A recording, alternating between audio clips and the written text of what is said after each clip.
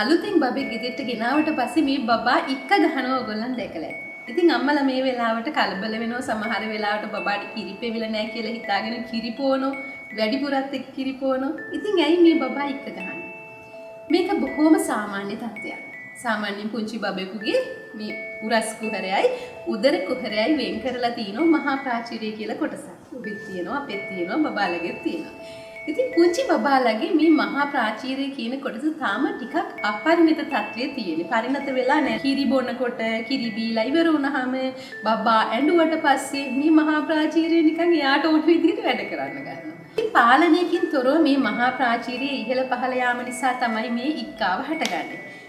මේක බබාට අපහසුවක් නොවේ. ඉතින් මේකට කරන්න දෙයක්වත් නැහැ බබා ටිකක් ලොකු වෙනකොට මහා ප්‍රාචීරයේ පරිණත බවට පත් වෙනකොට මේක ඉබේම මගහැරිලා යනවා. හැබැයි පුංචි පුංචි කෙමවල් අපේ අම්මලා මේ සඳහා භාවිතා කරනවා සමහරවිට මේක කාලයක් තිස්සේ අත්විඳපු දෙයක් නිසාවෙන් මේවත් සමහර වෙලාවට සාර්ථක ප්‍රතිඵල දෙන්න පුළුවන්. සමහරක් වෙලාවට පුංචි නූල් කෑල්ලක් බබාගේ ඇඳුමින් අරගෙන ඒක තෙමලා එහෙම නැත්නම් කටේ දාලා තෙත් කරලා නලලින් තියෙනවා. ඉතින් අපි මේක විශ්වාස කරනවා විද්‍යාත්මකව නම් බබාට අර නලලට සීතලක් දැනෙනකොට එයා අවධානය යොමු කරනෝනේ නලලට. ඉතින් ඒ අවධානයත් එක්ක අර පේශීන් වැඩ කරන එකේ වෙනසක් සිද්ධ වෙනවා කියලා. ඉතින් ඒ විදිහට පුංචි පුංචි ක්‍රමවේද භාවිතා කරාට කමක් නැහැ අහිත කරනවන. නමුත් මේක බොහොම ස්වාභාවික සාමාන්‍ය තත්ත්වයක් බය වෙන්න එපා. බබා ලොකු වෙනවත් එක්ක මේ තත්ත්ව ඉබේම මගහැරිලා යනවා.